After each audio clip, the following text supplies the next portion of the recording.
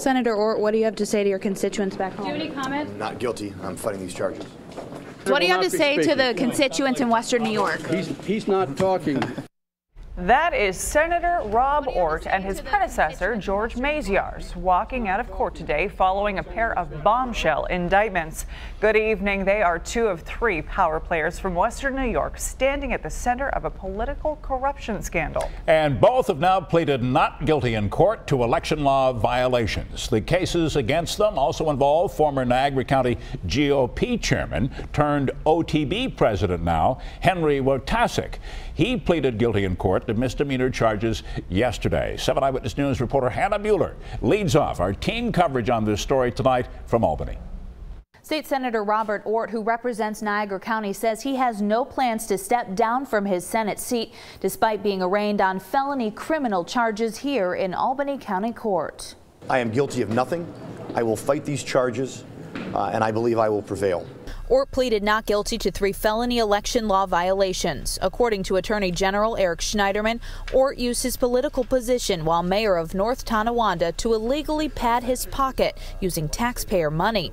Schneiderman saying Ortt, knowing he would make less money as mayor than his previous jobs as clerk and treasurer, worked with others to pay his wife for a job she did no actual work.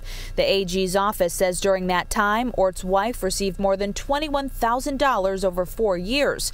But his attorney says the document he's accused of falsifying, he never even knew existed. He didn't sign the document. He didn't author the document. He didn't read the document. Senator Ortt, what do you have to say to your constituents back Do you have any comment? Not guilty. I'm fighting these charges.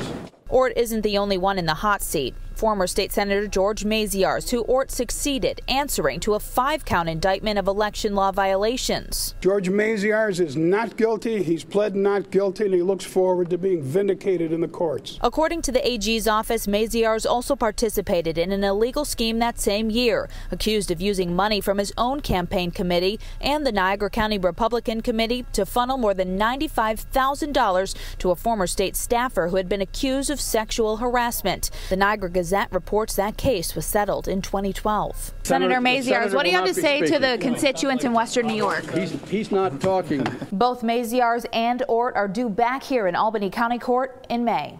Reporting in Albany, Hannah Buehler, 7 Eyewitness News.